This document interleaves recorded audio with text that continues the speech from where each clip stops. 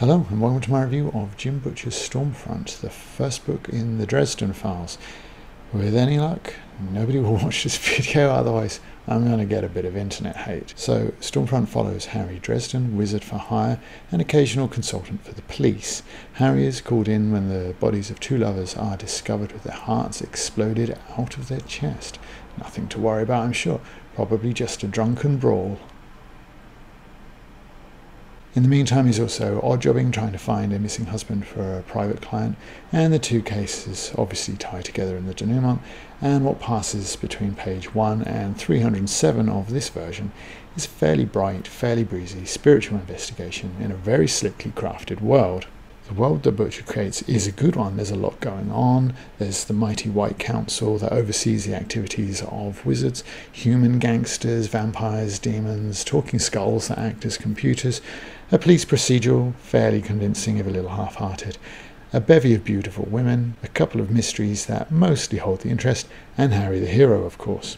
All of it executed with a degree of competence, because as the cover says, this is an unusually well crafted first novel if you're here for some it's great confirmation bias, I'm going to put a timer on the screen so you can skip the rest of my review and get to some more good bits. Because here we have the first hint of a problem. It certainly feels crafted, but it doesn't feel like the product of a craft. I'm talking about the difference here between this and this. Things are just a little bit too slick, and the whole thing reads like it was written in a committee room. You like Buffy? gotta have a vampire. You like Ghostbusters, gotta have someone get slimed. You like NCIS, gotta have a hard as nails cops. You like X Files? Sure you do. This was written in the year 2000. You've got to have two partners, one who's a skeptic and the other a believer. But most important, you got to make sure that whatever we do, no matter how many brutal murders and no matter how many aggressively sexual women Harry meets, we must not do anything to jeopardize that all important PG 13 rating because this is a world that's rich in quirks, more on them in a bit, rich in spooks, angst, threats, and beautiful women. It even has a rich backstory, no doubt the strewn seeds of half a dozen of the book's 14 sequels, because gotta have a franchise, because heaven forbid we might drag up those unfashionable words like saga or series and seem slightly less rapacious. But if somebody is telling you a story and just casually drops into the conversation that they killed their first love, your reaction would be, What? hang on a minute, tell me that story first. You don't just drop spousal murder into a conversation without dwelling on it a bit, unless it's held back for the sequel, of course. And this despite the effort the Butcher is putting into his narrator's conversational tone, we will return to that in due course as well. But it begs the further question of if he is not permitted to talk to ordinary people about the White Council, for example, then who is the narratee of this novel? But that's Storm Front. It's assertively superior to most of its peers, and quite a few of the sources it borrows from. But it raises question after question without ever slowing down enough to offer an answer to any of them. It twists dialogue and character to fit scene without ever considering what would be natural or ring true or even make sense in the world it crafts we learn that Harry has a godmother, a fairy naturally, never explored, not even while Harry is interacting with fairies. Why is he the only practicing wizard? If there are secrets and a whole council to forcefully protect them, why do they let him practice? Why are his spells in quasi Latin and not just in Latin? Other languages, such as Egyptian, are used elsewhere, but they aren't quasi Egyptian. Wouldn't precision and training be more important than faking it? Harry places great stock in his training, facing off with the adversary in the end. He says the only thing that he has on his side is his training, having forgone his weapons in the build up. But if faking it is okay, why do you even need training? Unless the training is training in how to fake it. This can be applied to the quasi physics of magic too. Doesn't magic have actual rules in this world? Wouldn't that make the quasi physics of magic just the actual physics of magic? And, and don't even bother to tell me uh, which one of the 14 sequels explains all this. I'm sure one of them does. It's just part of the cynicism around Storm Front. The questions are answered in the sequels. Don't forget to buy the sequels, many sequels. Get your sequels here, all the sequels you could possibly want. And all of the questions that I've just asked were things that I thought in the first 30 pages of Storm Front. Like I say, this is a rich book. It's also, but it's also a book rich less in art than in commercialism and contrivance. Harry's skills come and go. He can use magic to draw his weapon to him as easily as saying Ventas Servitas, but he can't when the plot requires him to not have weapons in the next scene. He can fly when he needs to make an entrance, but not to make an escape. His magic hex causes machines to break down around him, including both his and Mac's cars, but only after he's reached his destinations, because walking is boring, I guess. When Bob, the talking skull, persuades him to make a love potion for no reason, the inevitable mishap is, well, inevitable. He can be late for his appointment, on time and late again, in the space of nine pages. He finds crucial evidence at a crime scene after the police and forensics have left. It's a film canister under a bed. Haven't we seen that somewhere before? Don't forensics check under beds? Someone comes in looking for it, identifying themselves as the owner of the evidence by immediately looking for it under the bed which seems a less likely place for a film canister than in a drawer or on a table or almost anywhere else in the building, basically. It's only the first place you'd look for anything if the person writing you doesn't have any faith in the intelligence of his audience. Donny Wise, the owner of the evidence, is appalled by the idea that Dresden might be using Linda Randall for sex, but he has literally traded the film canister for the same thing. Harry then burns the photos to stop Donny blackmailing the people in them, but he needs those photos to properly identify his suspects. He says he has to follow up on Donny's lead, but he basically didn't get one, and then what little he did get, he burned. He then takes a leap of logic that solves the case that really doesn't have very much reliance on anything Donny gives him. On page 212, Harry falls into despair. Have you ever felt despair, absolute hopelessness? Have you ever stood in the darkness and known deep in your heart that it was never, ever going to get better, that something had been lost forever and that it wasn't coming back? This melodramatic angst occurs here not because of a triggering event, the death of Linda Randall would be the most likely place for that, but that doesn't even interfere with his wisecracking, and I'll return to that in a bit. Nor does it follow the scene where Murphy renounces their friendship. It actually occurs here because this is the opening of Act 3, and the Hero's Journey Handbook says that's the point of the story where the hero has to be at its lowest ebb and decide to fight back. Normally, when I write my notes for these videos, I give them a one word title that sums up my feelings about the book, and the word that I picked for this one was Zeppo. Now, Zeppo is an episode of Buffy the Vampire Slayer, probably named after the youngest Marx brother, that gave lead status to the oft forgotten, maligned, and, if we're honest, largely useless Xander. In effect, this is something of the role Harry plays. Officer Murphy, Rodriguez the reporter, Morgan the White Council's watcher, Bob the Skull, the gangster Marcone, and Linda Randall all run rings around Harry, and most actually seem better equipped to solve the mystery than him. In the Zeppo, Xander gets to sleep with the Slayer Faith after a fight, because the story is deriving its comedy from mocking its hero, even when indulging in the heroic action, she asks him, Are you up for it? And he says, I've never been up with a person before. The language is kind of unnatural, but it's a PG 13 contrived way of getting a little bit of a laugh at his expense. When Monica Sells hires Harry, there is a lengthy discussion between the two, and Harry observes about halfway through that Monica Sells says um a lot. Here's a list of all her dialogue, and I'm not going to read it all because there's a lot. As you can see, she actually says um four times before Harry's observance that the effort of completing so many sentences without a single um had tired her. You can also see that the lengthy passage without an um that Harry says tires her is no longer than two or three other discourse turns where she doesn't use um either. Harry's observance is a contrivance, a pointless one to make Monica look a little bit stupid and Harry a little bit brighter. Now, there is this offering on page 244, which some might use to suggest that Monica is in fact manipulating Harry into investigating the case. However, that's not supported by the evidence offered. It's also unnecessary as he is advertising as a wizard for hire and obviously has few other customers. Monica is not a magic user or a mind reader. Harry's observance, as shown, is completely arbitrary.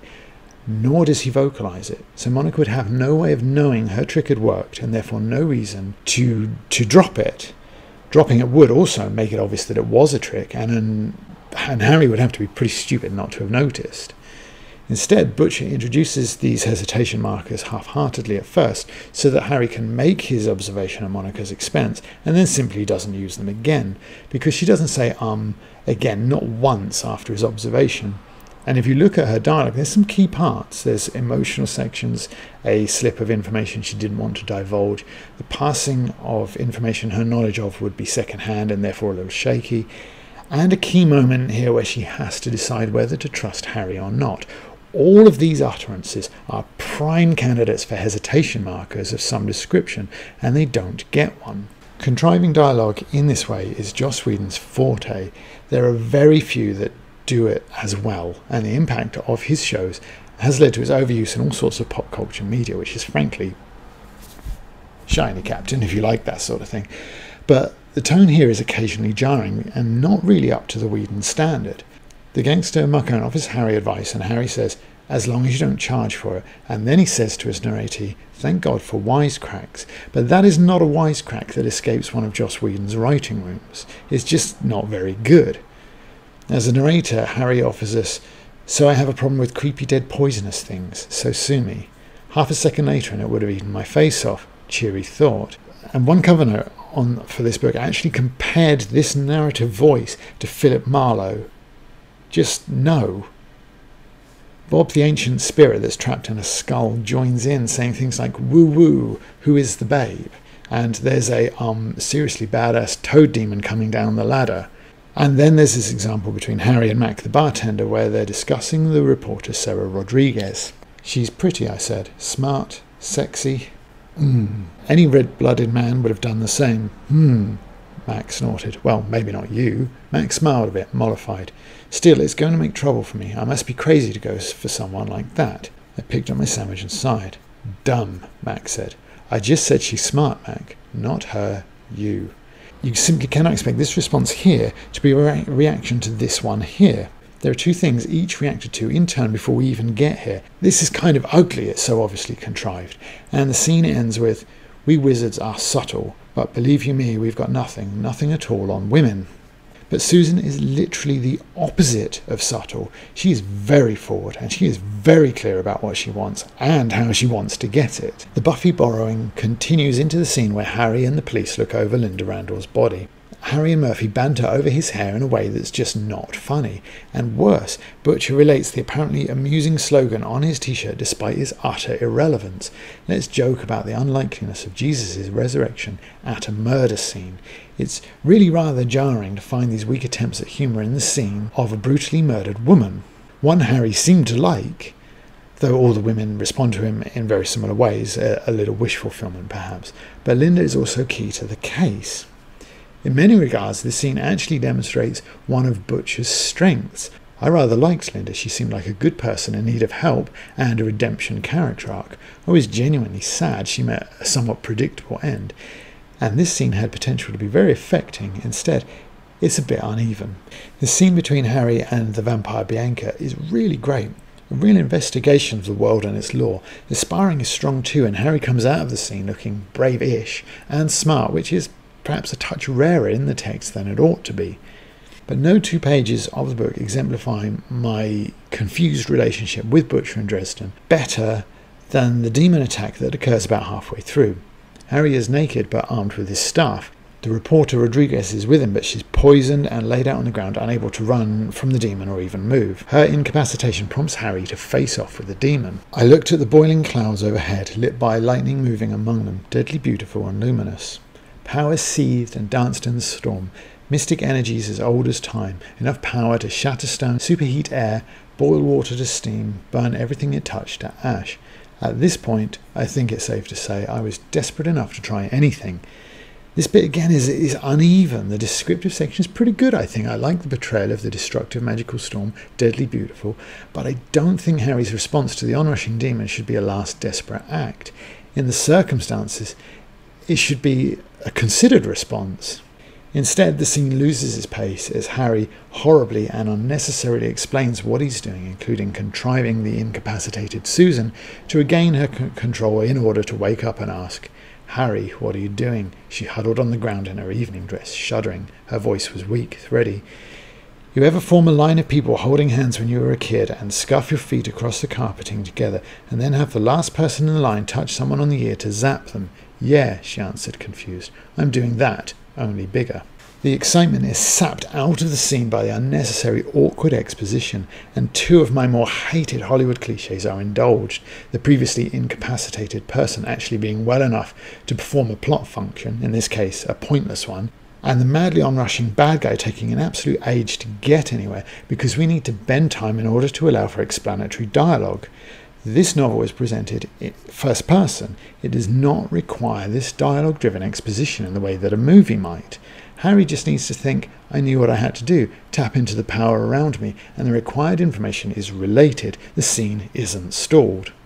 In conclusion, Storm Front is written with a confident assurance that is utterly undeserved. Its lead is a Zeppo largely serving to be mocked and underestimated by friends and foes, but is nonetheless a mostly effective driving force for a plot that rises above contrived situation and dialogue, above plot points, characters, and situations borrowed from elsewhere in the world of pop culture, but assembled here with a little respect and a degree of elan.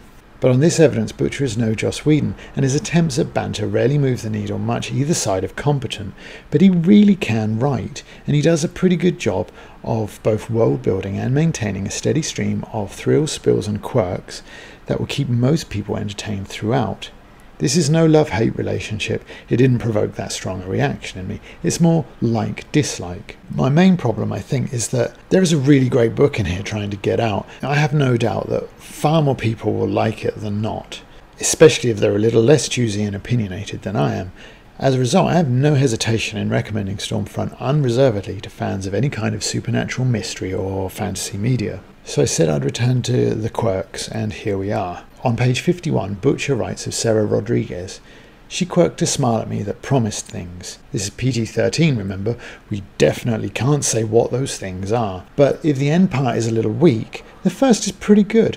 One of the definitions of quirk is a rapid mouth movement, but it is still an unusual enough use of the word that, as part of building an individual personality for Rodriguez, is pretty effective, especially as Rodriguez and Randall have such similar ways of feisty flirting as an idiosyncrasy and not quite tick. It's a good way of distinguishing them. However, Butcher overdoes it and applies it to more or less everybody, nullifying that effect as early as just two pages later. It becomes another minor aspect of the book that pulls Storm Front away from being as great as it could have been.